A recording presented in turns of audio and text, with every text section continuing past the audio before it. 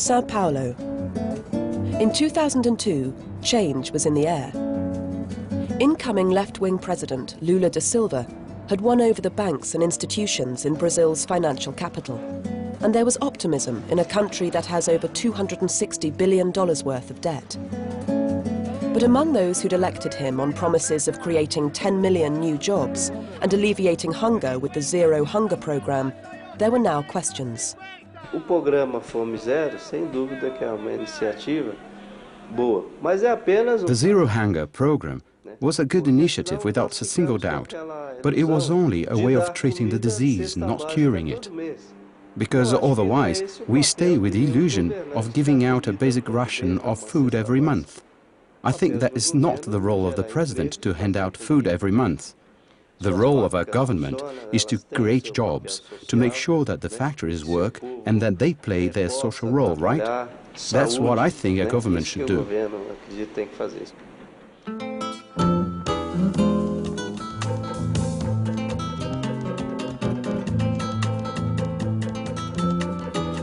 Three years before the presidential election, Geraldo de Souza was one of 2,800 car workers laid off by the Ford factory in Sao Paulo. He was a worried man. This is my home. Four years ago, I was paying rent, so I started to borrow some money. Losing my job is very difficult. That's Mateus, Ivy, and she's my wife. My name is Divina. I would like to know why I lost my job. I would like to get an answer because I haven't found the reason for all this until now. Back then, documentary filmmaker Jon Alpert had offered to help Geraldo. He wanted to know why the global effects of the 1997 Asian financial crisis damaged Brazil's debt-laden economy and cost people like Geraldo their jobs. Brazil has the ninth largest economy in the world, heavily underwritten by American banks. So in 1997, the globalized economy increasingly mattered to it and to individuals like Geraldo. Today, Geraldo has his job back, but the big questions remain the same. His employer, Ford, is the second biggest car manufacturer in the world, but it's fighting a worldwide economic downturn in automobile sales. Geraldo's life and livelihood still seem to depend on the fluctuation of the world's financial markets. When I received the telegram asking me to return to the factory, it was a shock. Ever since, I've been happy. The bitterness and the anguish of staying at home are forgotten. When you work, 80% of your problems are solved. Eu gostaria de, de que vocês fizessem o seguinte. Uh, I would like you to answer some of the questions I've been asking myself about revenue distribution, firms' employment. Why do they fire workers? To make even more profit?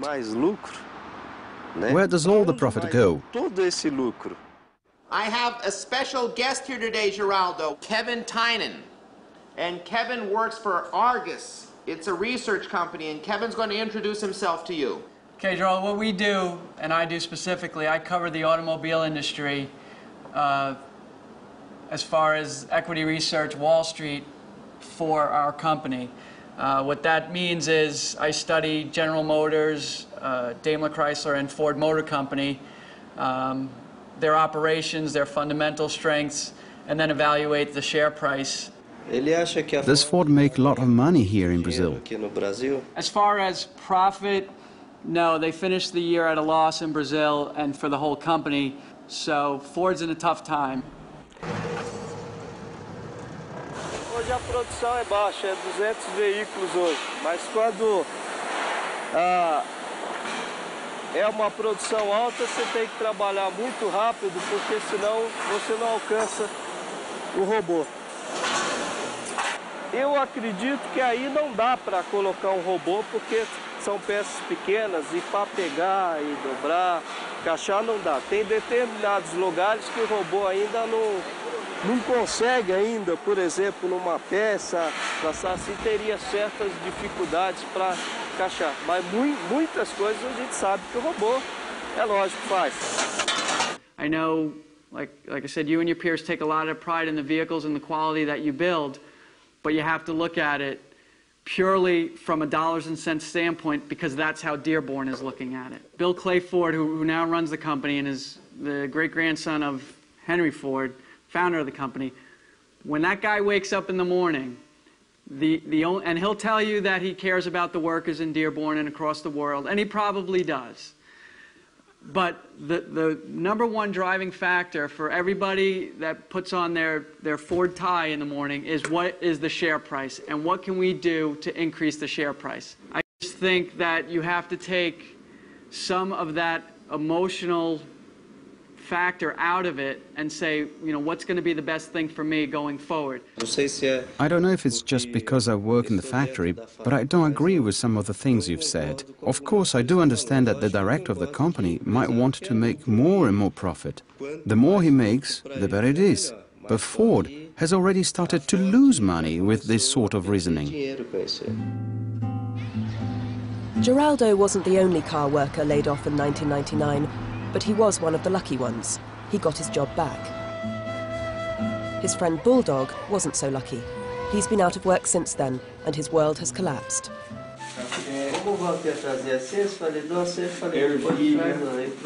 There's some beans, some oil, some salt, a few tomatoes.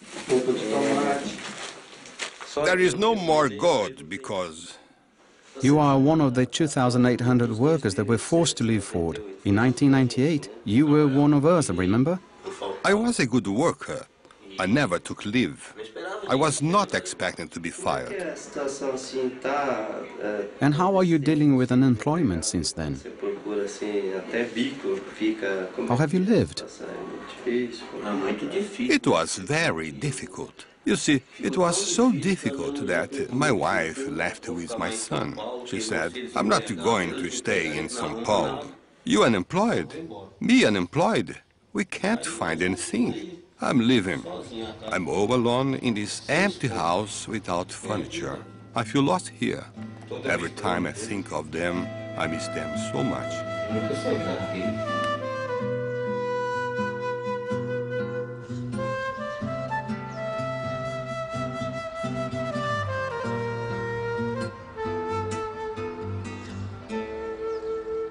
Por mais que você saia de uma empresa,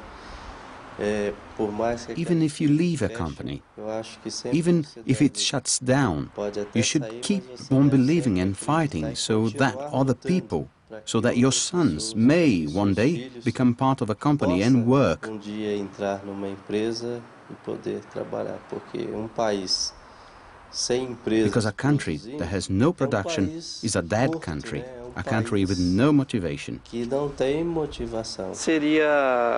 What I would like to know is how other workers cope in other countries. What are their salaries? And how do the automobile factories work over there? In 2001 and 2, Ford, which employs almost 350,000 people in 40 countries, announced a plan to lay off 35,000 workers around the world. Geraldo was again left wondering if there was any future for him in the car industry. His new contract expires in 2006. He's not alone.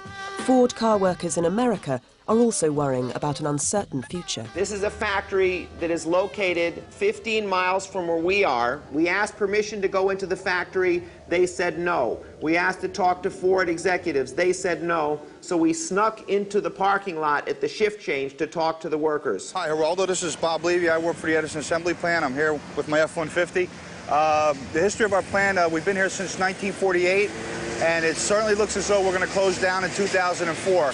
Uh, all of the workers here will probably have a new destination, whether it be retirement or relocation to another plant, but we will have options. A lot of the morale around here has kind of been uh, flushed down the toilet with no profit sharing and with, uh, you know, the, they're saying that our, our plant's going to close down and, uh, and people, people aren't excited to come to work and people don't really want to go the extra mile that a normal employee would when the company stands behind them.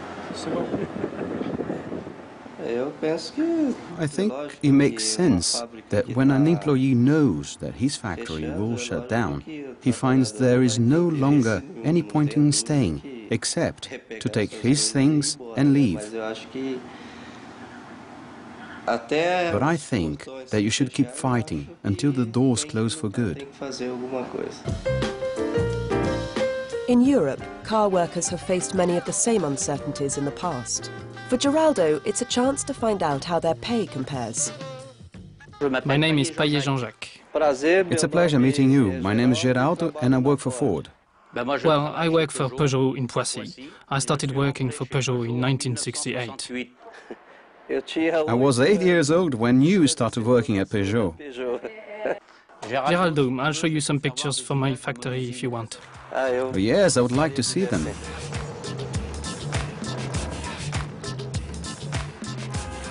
Okay, so this is the factory entrance. That's inside the factory. And that, uh, well, that's me. That's a friend.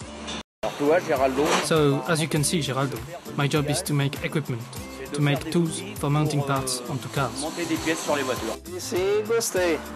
I saw that and I liked it. It's a gratifying job. It's satisfying, I like it. Of course, uh, because there is still some research involved. For example, when a worker can't staple a part onto a car or all that, um, then he calls me and I analyze the problem and in order to make a tool that will help him. That's what tools are made for, because we can't put everything together by hand.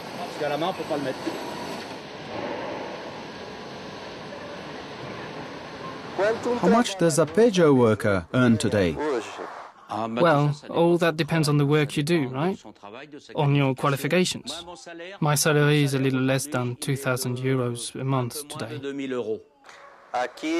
Over here at Ford, it's about $650. In the United States, the Ford worker makes $22 per hour, which means $5,200 each month.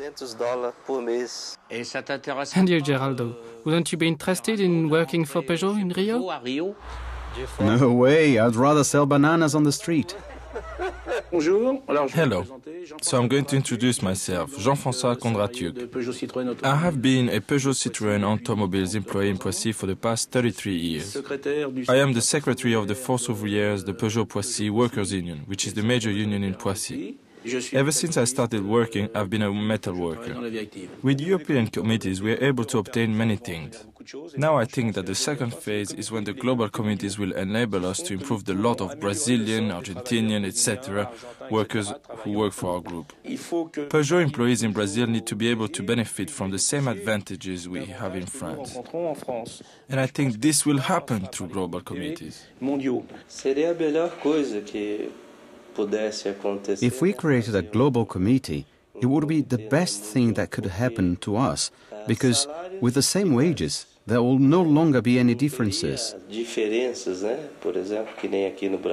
in São Paulo, a worker is paid 1,000 or 900 reais, and in Bahia, he's only paid 450 reais. Then these inequalities would disappear.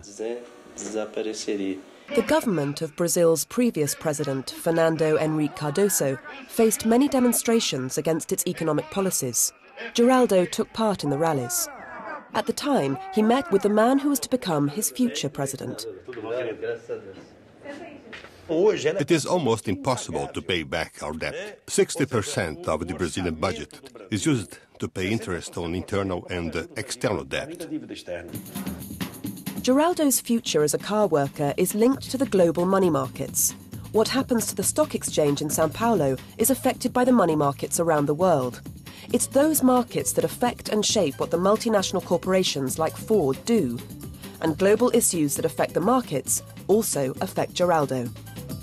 Luiz Espósito, estou aqui na bolsa mais de 40 Luiz Espósito. 8, 10% I've been working here at the stock exchange for almost 40 years. bolsa vai servir esse reflexo. When the Tokyo Stock Exchange loses 8 or 10%, ours changes immediately by reflex. And the worker who has been fired We also feel this. But on the other hand, when those multinational corporations came here for business, they also came because of globalization. They could have set up factories in other countries. They chose Brazil because of the labor, the expansive territory, the political stability, the peace ever present in our country. These factories could have been created in other countries, as was the case in Mexico or Argentina. And this globalization that brought these factories here will also benefit Geraldo. Brazil's external debt amounts to more than $260 billion. It's a massive sum that Geraldo is convinced will never be paid back nor is it easy to grasp the relationship between his country and the International Monetary Fund. So he questioned Nobel Prize winner and former vice president of the World Bank, Joseph Stiglitz. The question of whether Brazil can pay its debt, unfortunately, turns out to a large extent to depend on factors that are outside of Brazil's control. If the international markets decide that they like emerging markets, if they feel confident in Brazil, all these factors would mean that the Brazilian economy would be strong and it would be easy for Brazil to pay its debt. But if the opposite happens, then no matter what Brazil does, it will have a hard time. One hears the stories from outside critics that say if countries only did the right thing, things would be okay. That's wrong. Because even with the best of policies, you can find yourself hostage to the fickle international markets. For everything, even to fight against speculation, we are forced to borrow money from the outside. That's how the country and its leaders gave in to the IMF. That's the real truth. And as soon as the IMF comes and looks at your bills, you lose control of your country. My own feeling is the responsibility of the Brazilian government is first and foremost to the Brazilian people and not to the international creditors. Globalization has brought enormous benefits to many of the countries of East Asia. Their growth was based on exports. But these countries managed the globalization process on their own terms. So they didn't immediately open up their borders to goods to flood in. They did it gradually. They didn't maintain high interest rates. They had a focus on job creation. There's a fundamental difference between that perspective and the perspective, the approach that in too many countries the IMF has taken. Geraldo, what we are seeing today three years later, that capital has become much more mobile. It travels freely across borders. No one asks for a passport for capital. There are no sniffing dogs to tell us if there are some drugs. I think that globalization, as it stands today, cannot continue. This does not mean that we have to close our borders. No, the problem is that each country needs to care for the interests of its own people. And if you want to globalize globalize capital interests, we must also globalize workers' interests. After his election victory, Lula, as he's popularly known, went to the World Social Forum in Porto Alegre in southern Brazil. With Geraldo watching, it was a big test for the former shoeshine boy who'd become president. Eu sou um homem que fiz muitas reivindicações no Brasil. I'm the one who reclaimed a lot in Brazil. I asked a lot from every administration that came here before me, just as many among you ask of their country.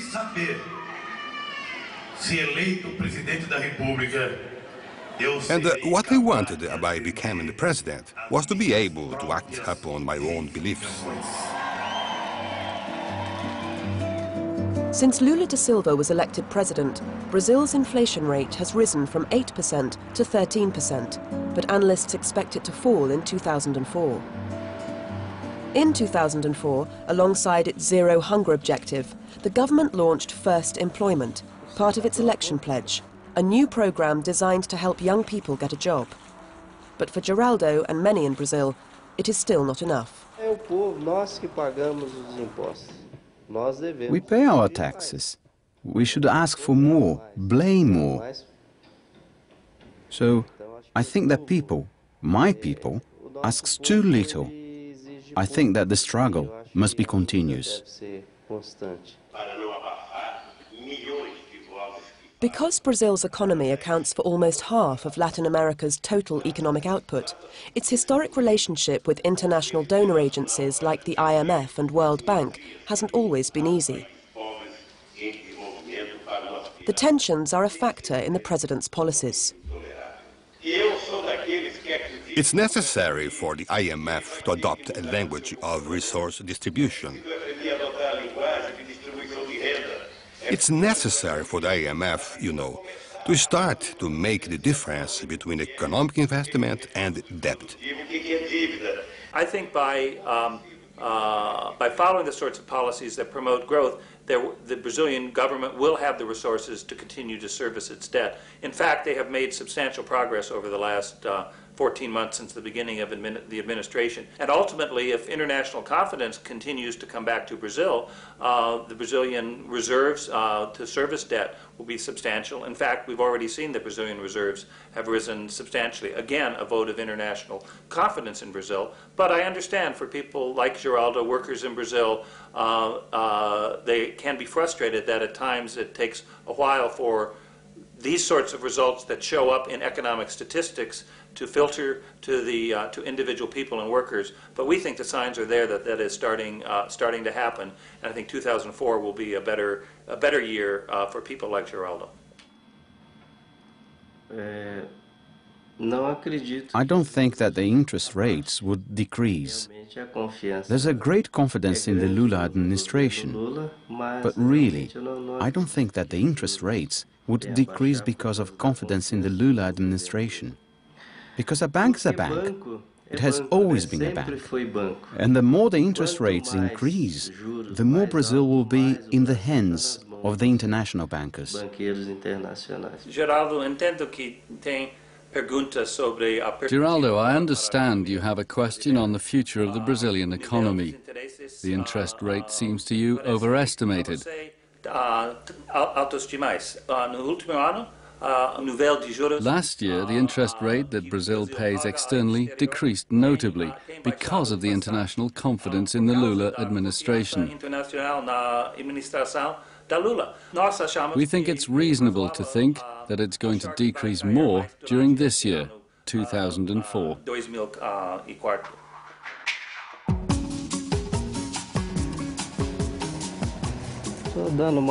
I'm cleaning my photo camera because it's becoming dusty.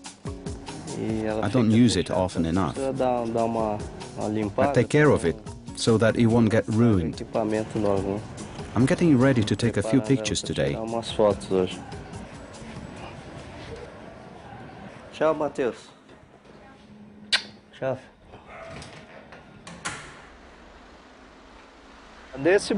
Right now, I'm doing it because I like it. But I see it as an alternative in the future. I'm sure I'll profit from this.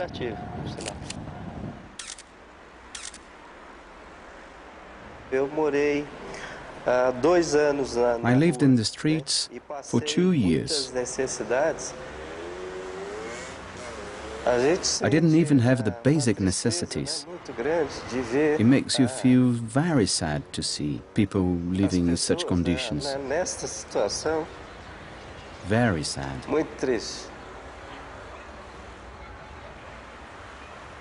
Quando entrou a globalização no país, nós começamos a perceber que realmente When globalization came to Brazil, we realized that we would have to do more studies, to specialize, because we realized that everything was electronics and technology.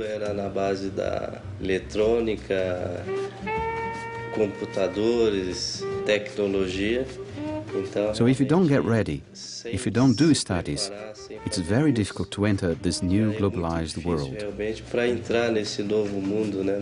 It can change. I think that people are able to change, but we do also want to have our say in this globalization. For more information on the issues raised in this program, visit our website, tve.org slash lifeonline. Over the next few weeks, Life looks at new policies on land reform, debt relief and health and education.